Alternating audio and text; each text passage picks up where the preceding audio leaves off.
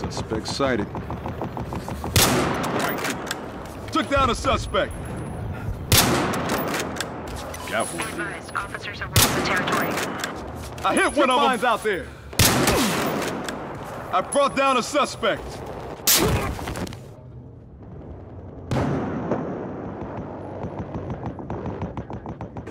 I like to think that we're all the same in one way or another. Like, it doesn't really matter if you have a GED or a PhD. I think that we all have the same logical assumption about people and their behavior. Like, certain people can do the exact same irrational thing over and over and over again, but we still think that maybe this time it'll be different. Despite the obvious trend of unreasonable and misguided behavior, maybe, just maybe, they've changed.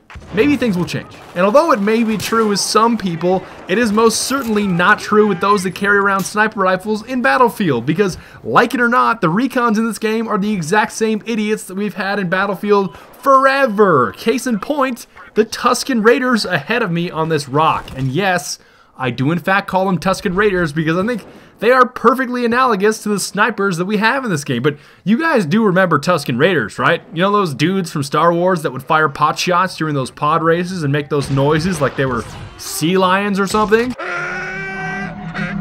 Well, that's figuratively the exact same thing that happens to me in Hotwire. Not literally, but you know, figuratively.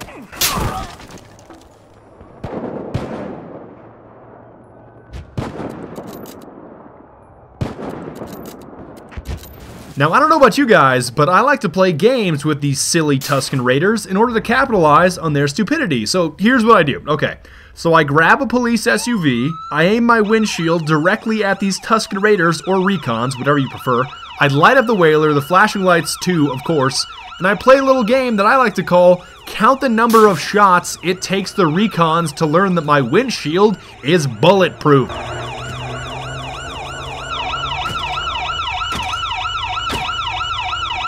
And in case you haven't noticed, they aren't exactly the brightest when it comes to learning what their bullets can and cannot penetrate. Now, the real trick here is to enjoy yourself while they struggle to understand exactly why you aren't dying or exploding all over the inside of your SUV.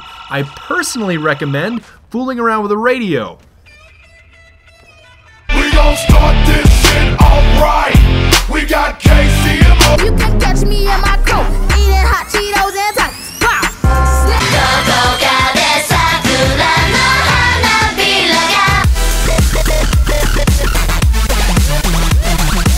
Like all fun games, they of course have to come to an end. And by end, I mean I exit my SUV and I headshot them all, once they give up on trying to kill me and get distracted with other enemies elsewhere on the map. It, it really is a fun game, I hope you try it sometime.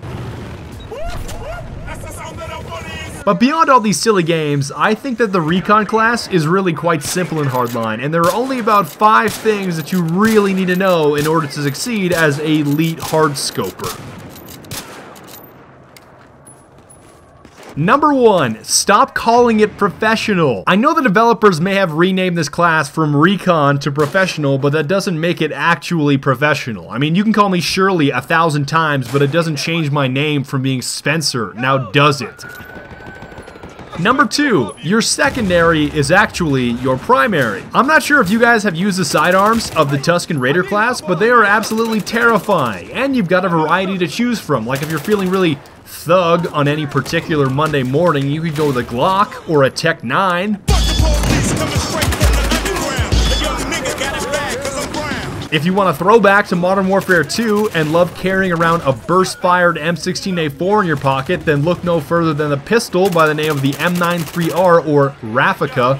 And I guess there's also a MAC-10 that is even better than all of the others that I just mentioned. This is just a rumor, but I didn't want to grind to unlock it, so I don't know where that leaves us. I guess it's just a rumor that it's super deadly. I guess I'll just trust the rumor mill then. Moving on. Number three, throw on that 338 Magnum ammo because it will make all of your wildest dreams come true. Allow me to show you exactly what happens when you go up against someone using the 338 Magnum ammo. Now, not only does your car pretty much start to crumple once you start getting hit, I mean, just look. This dude is using a regular sniper rifle with this special ammo 338, and he is absolutely smashing our car up with 15, 20, even 25 damage per bullet. But even worse than that, just look at the range from which he can kill me with an arm shot. Okay, so not a headshot, not a neck shot, not a chest shot, an arm shot. I'm gonna I'm gonna pick up one dude, I'm gonna pick up a second dude, and keep in mind that I am still full health. I have not taken any damage prior to this happening,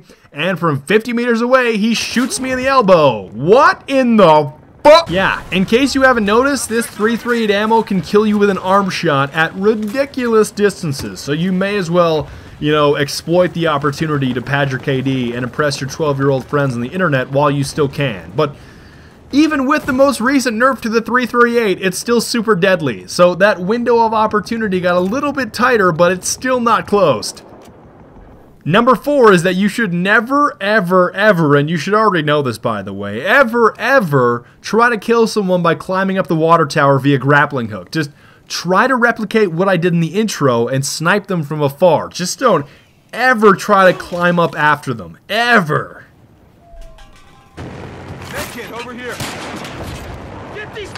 Off of me! Took down a suspect.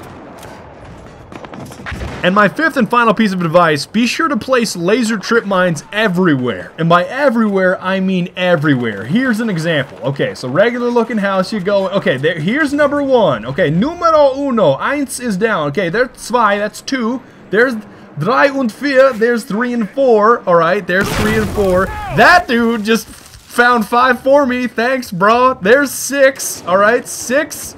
I duck under seven. There, oh my...